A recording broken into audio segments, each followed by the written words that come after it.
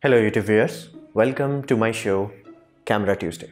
In today's episode, we're going to take a look at an interesting topic that we simply have to understand nowadays. It's third party lenses.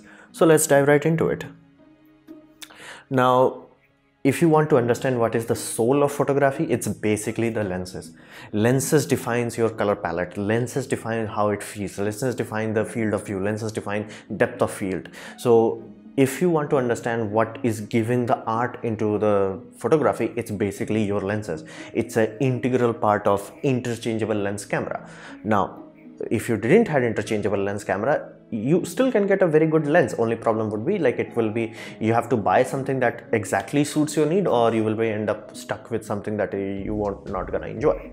Now this mentality that uh, lenses are very specific specifically tailor made allows for a right tool for the right job.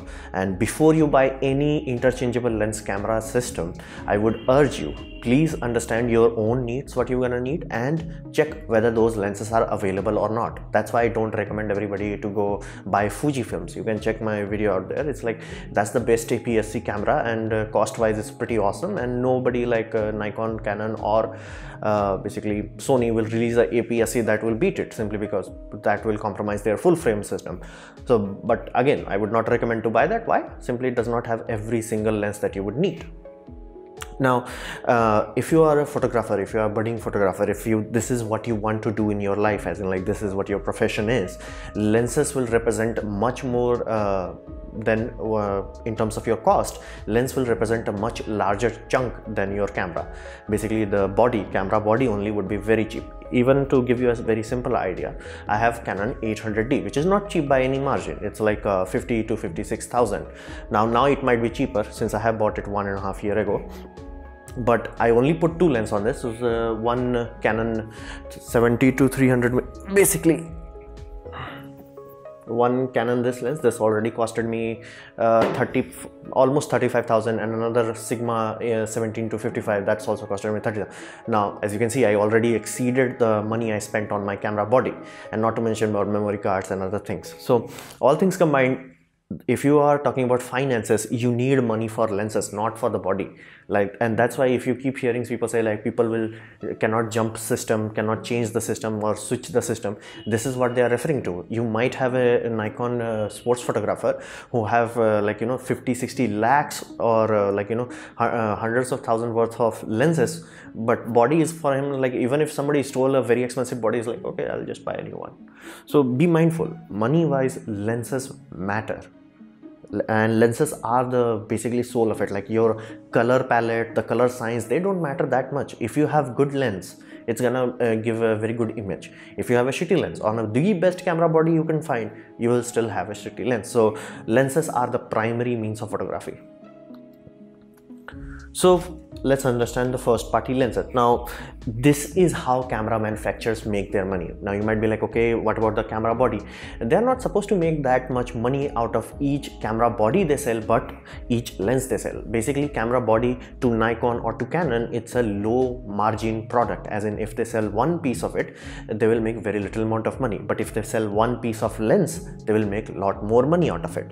Uh, so lenses are generally what they call high margin product. That's why it's so expensive. And uh, to to make sure they support the system to make sure they don't rechange it that's why they uh, make sure the lenses are very very uh, well built in terms of class in terms of durability and in terms of support. Now support is very crucial. Let's say you are in an olympic event and you can easily find there are booths of uh, basically nikon and canon. So if you have a nikon or canon lens they can literally uh, let's say your lens stopped working you can simply go there and they will give you a spare so and sony also started to do this this pro support basically.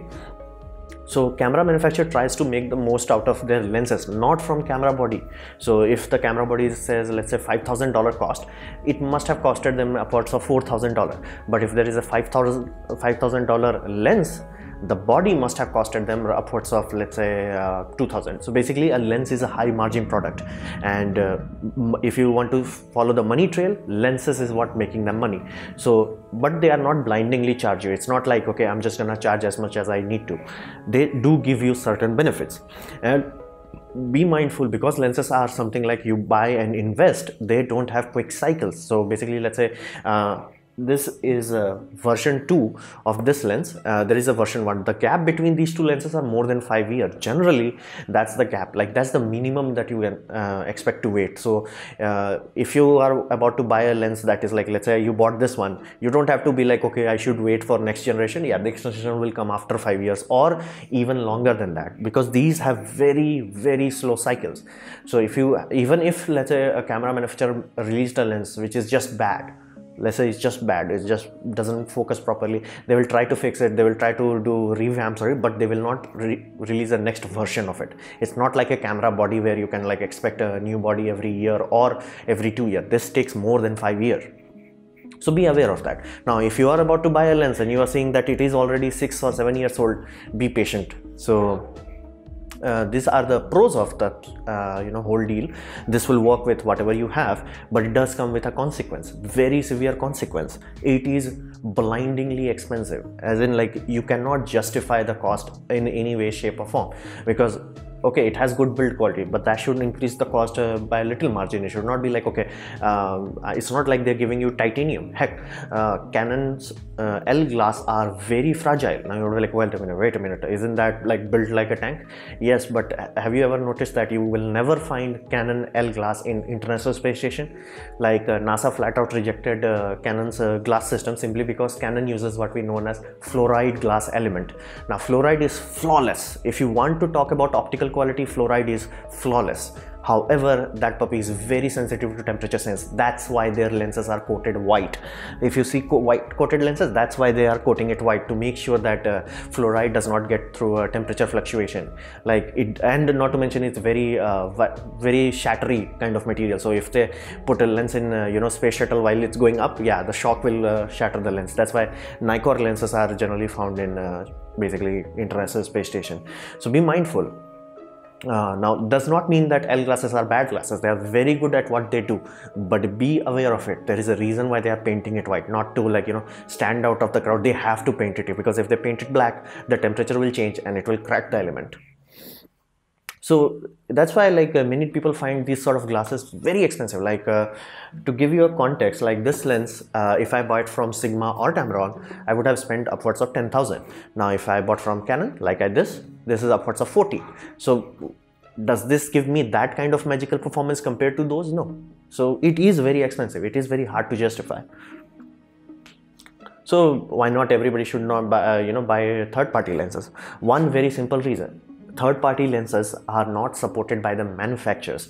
Basically uh, in the case of nikon and canon they are reverse engineered. That's why uh, many times you see everybody talking about usb docks now what does that mean is that electronic communication between the lens and the uh, camera body it's proprietary. Like canon has their own and nikon has their own. Now when Sigma or Tamron or Voigtlander or Tokina they try to make their own lenses they take their uh, old lenses and try to figure it out how they made it. It's a reverse engineer product. Benefit? Is cheap. Side effect? Uh, it is cheap because they are not paying royalty for it but uh, the consequence is that if new model of a camera body comes out your lenses might not work. Even though it's like uh, let's say you had a sigma 18 to 7, uh, 35 basically a very popular lens. And uh, you had Canon uh, T3i and you're like oh awesome. Now i'm gonna upgrade to t5i uh, your lenses will stop autofocusing properly. Like it's not gonna it's not like it's not gonna work but you will need to upgrade the firmware in it to make sure that it works properly. Because it was not properly supported the camera manufacturer does not support it. Now because the camera manufacturer have access to not only the whole lens data they also know the proprietary communication. If let's say they released a new camera body that has let's say eye autofocus and for that reason they have to change the autofocus algorithm.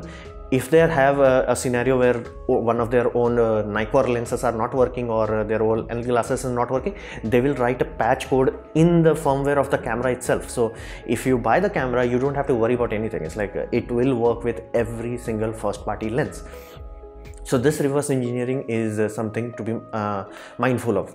Now Sony uh, has opened their lens mount to almost everybody so Sony does not have to worry about too much.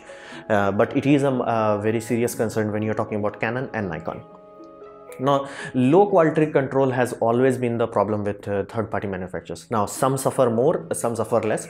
Like sigma has been so bad like uh, there is also upgraded version of this 18 to 35 which is like from 100 uh, 70 to 100 or something like that. Basically it was so bad flat out it did not autofocus properly because the communication wasn't uh, working. But some people uh, who did the youtube reviews they got awesome. Other people they try to re replicate it and they had terrible. Because the quality control between lens uh, each versions of the lens is not very well managed. They can't afford to do that because nikon and canon are overcharging so much. They do try to give you a good deal. These puppies like they, uh, they try to do what we call corner cutting. So best place to cut corner is quality control. So you may have a lens that is like whoa this is the best lens ever.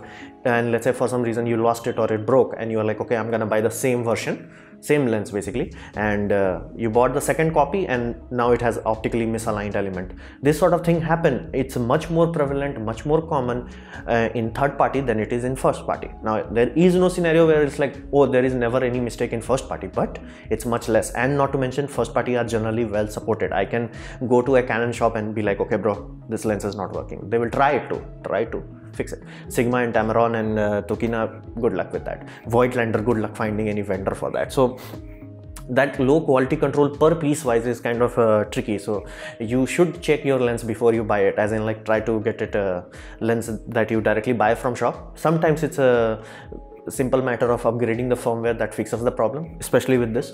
And that is why sigma is also selling their uh, usb dock.